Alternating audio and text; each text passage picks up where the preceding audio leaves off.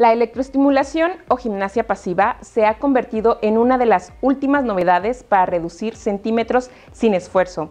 No genera molestias y asegura resultados efectivos.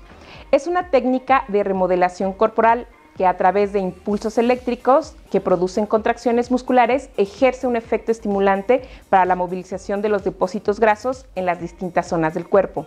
Está indicada para reafirmar los músculos, aumentar el tono y la elasticidad de la piel, reducir la flacidez secundaria en procesos de adelgazamiento como coayudante en procesos de eliminación de celulitis y como drenaje linfático facial y corporal. Las zonas en las que se puede trabajar son glúteos, caderas, estómago, piernas y brazos.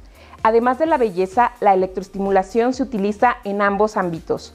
En el caso del deporte, se puede utilizar como el complemento del entrenamiento para conseguir una mayor fuerza, explosividad, resistencia y también para prevenir la aparición de lesiones.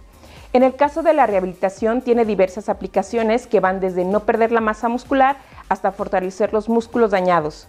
Las ventajas más importantes de este tratamiento son que incrementa el tono muscular, quema la grasa y combate la flacidez.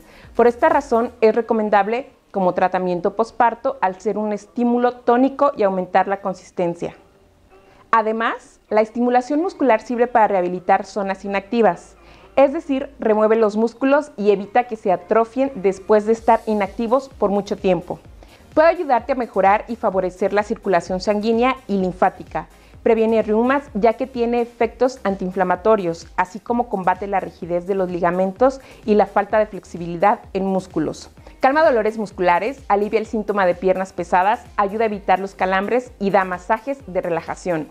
Lo mejor que podemos hacer si queremos beneficiarnos de las ventajas que nos ofrecen los electroestimuladores es acudir a un centro especializado y siempre utilizándolo como un complemento al deporte o para la rehabilitación de lesiones.